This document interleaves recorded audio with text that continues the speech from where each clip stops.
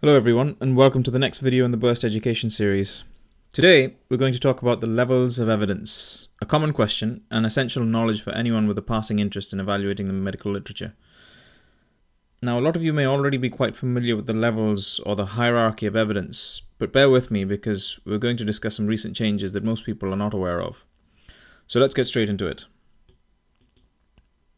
Our aim today is very straightforward, to understand what is meant by levels of evidence for clinical studies. Now this is a table that will be very familiar to a lot of people, or at least its contents will. It describes the classical levels of evidence as set out by the Oxford Centre for, for Evidence-Based Medicine in 2009. Basically, you start with randomized control trials at level 1, moving down to non-randomized studies or cohort studies at level 2, through to case control studies at level 3, case series at level 4, and expert opinion which is not based on critical appraisal at level 5.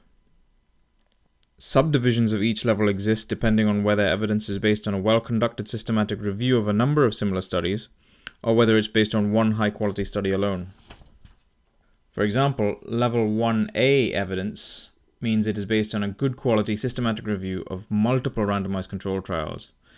And we'll take a look at what makes a good quality systematic review and what heterogeneity is in a later video. Another caveat in this table is that levels can be downgraded for quality. So a randomized control trial with a high risk of bias would be downgraded to level 2, for example. Conversely, it is highly unlikely for lower level studies, such as observational studies, to be upgraded even if they are very high quality, because of the inherent bias associated with these types of studies. So if you're attending exams or interviews and are asked about levels of evidence, this is the table you would refer to. Now comes the interesting bit. There's been a lot of criticism of this method of grading evidence, principally that it's too rigid and lauds the randomized control trial as being the supreme king of study design, while in practice that is not always the case for certain types of research question. Moreover, there are problems even with well-conducted randomized control trials, and a common one is that inclusion criteria to randomized trials are often so stringent that the applicability of the results to a more generalized population is often called into question. Enter the new levels of evidence table from the Oxford CEBM, first published in 2011. Now, you might look at this in dismay, saying they've just made it 10 times more complicated, but again, bear with me. The thing to understand here is that they have very judiciously divided the table according to the type of question being asked. So if your question is an epidemiological one of how common the problem is, then randomized control trials are nonsensical. So your highest level of evidence would come from a simple survey or census. And remember, in old money, a survey or a census would, be, would have been down at level 4. If you're looking at diagnostic tests, then the top level evidence would be from systematic reviews of cross-sectional studies with proper reference standards. Again, something which previously would have come much lower down the evidence table. But the real difference and the real comparison to the old levels table comes in this section here. And I'll just highlight it to make it a bit easier. This looks at interventional studies that assess benefits and harms, which is the most common type of studies we are asked to conduct or evaluate. And here you see a similar trend compared to the previous table going from systematic reviews of randomized control trials down through to case series and mechanism based reasoning. But the big difference is two things. First is that the single randomized control trial has been bumped down to level 2. And alongside it, you have observational studies with dramatic effect, and that's a major change. So potentially an observational study with a very large effect could be considered to have as high an impact as a well-conducted single randomized control trial.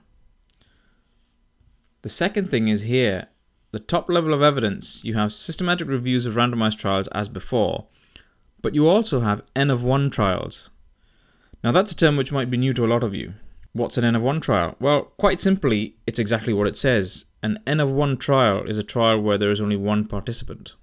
Sounds strange? Maybe, until you consider the fact that there is an ongoing trend towards patient centered outcome research, for reasons we've previously alluded to, the problems with randomized control trials. Single patient trials, or individual patient trials as they're sometimes known, are multiple period crossover experiments comparing two or more treatments in an, in an individual patient, which allows you to identify the best treatment for that individual patient without worrying about inclusion criteria and whether there's a trial ongoing that asks the question your patient is interested in, etc.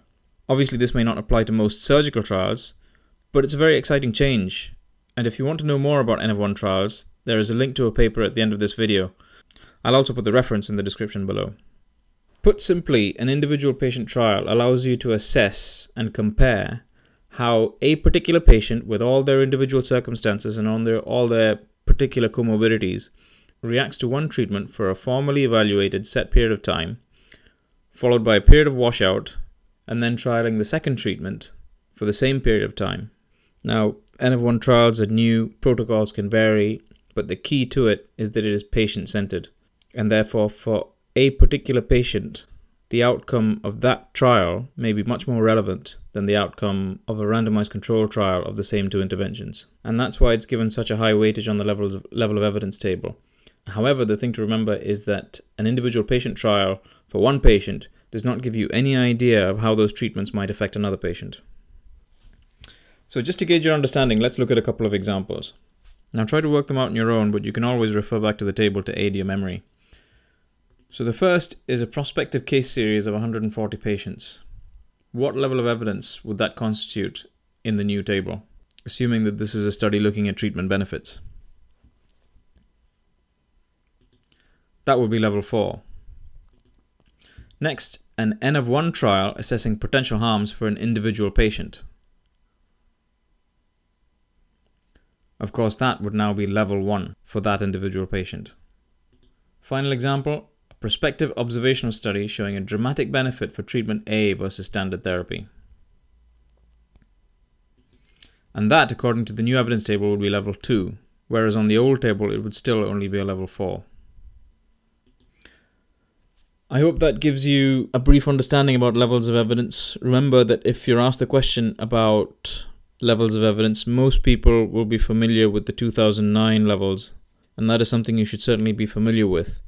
But the new 2011 table is, in my opinion, much more in keeping with modern day research practice and much more intuitive once you get used to it. So it's definitely something to be aware of.